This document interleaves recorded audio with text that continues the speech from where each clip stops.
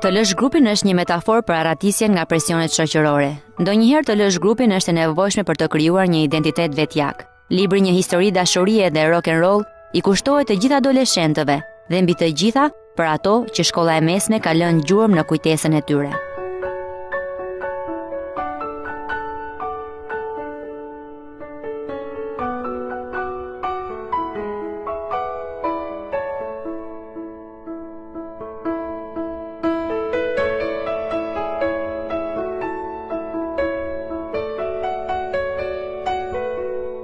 Romani Spastrimi i autores finlandeze-estoneze Sofi Oksanen vërtitet rreth subjektit të dashurisë dhe tradhtisë, një tragjedi e përmasave antike, një kombinim i spikatur mes historisë, politikës dhe suspansës, që mbart një mori sekretesh të pathëna dhe veprimesh të turpshme.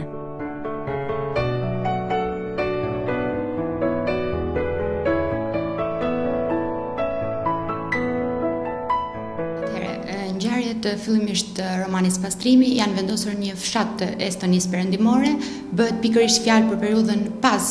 shpërbërjes së Bashkimit Sovjetik dhe do shohim që nëpërmjet linjave të rrëfimit koha do përparojë dhe derisa vijmë në vitet 90 kur mendohet se të paktën për vendin ka ardhur një epokë e re.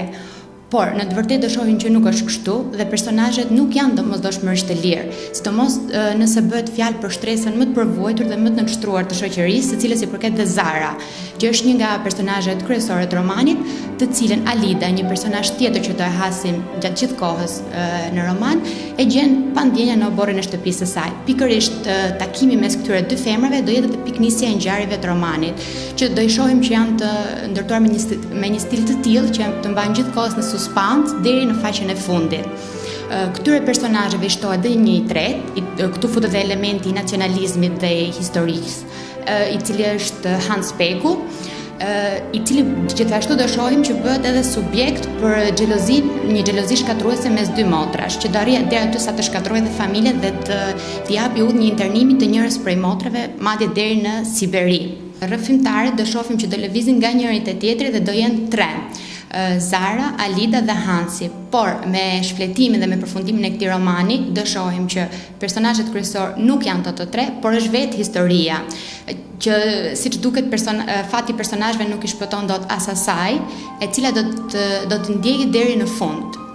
dhe sigurisht me nota më të gjalla, ku nëpërmjet saj do zbulojmë edhe jetët e personazheve. Shkrimtarja e re finlandeze estoniane, Sofi Oksanen është munduar që me këtë roman të godasë fort çdo sjellje të turpshme, intrigat, tradhtitë, xhelozitë, të, edhe ajo ka drejt, ka ngritur gishtin edhe i ka akuzuar hapur brezat e mëparshëm si fajtorë. Në monografinë e Artan Hoxhës titulluar Ekstradimi dhe urdhri evropian i ndalimit zë vend një trajtim i plotë dhe i saktë i kontekstit historik, social dhe juridik të miratimit të vendimit kuadër që rregullon urdhrin europian të ndalimit. Autori thekson se është kërkesë parësore dhe urgjente realizimi i ndryshimeve të domosdoshme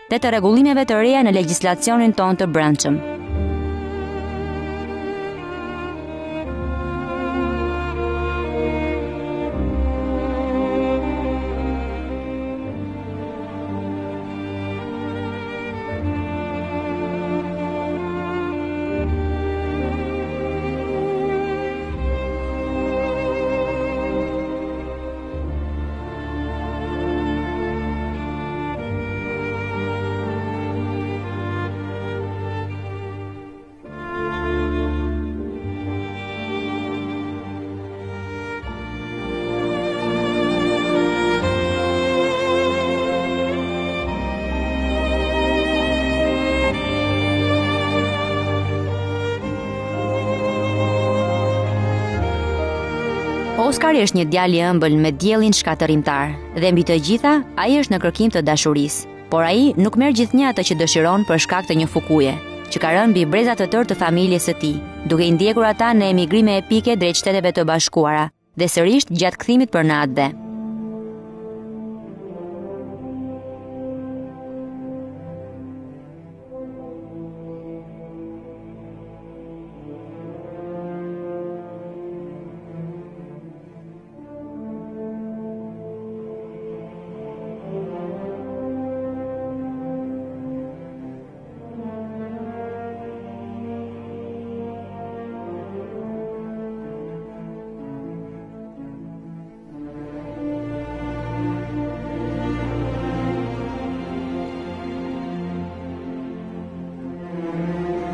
Libri i Astrit Saliut mbi aporitë e modernes të rrëfimeve të mëdha ofron një studim të thelluar filozofik, i nxitur nga përsiatjet mbi disa çështje që i ka hasur brenda filozofisë bashkëkohore Në radhë të parë nga përfaqësuesit e shquar të rrymës së postmodernizmit, Jean-François Lyotard, Michel Foucault dhe të tjerë. Në tekstet e këtyre autorëve, Astrit Saliu ka gjetur gurrën e frymëzimit për të menduar mbi domethënien e asaj ngjarje filozofike, që është quajtur fundi i rrëfimeve të mëdha të modernitetit.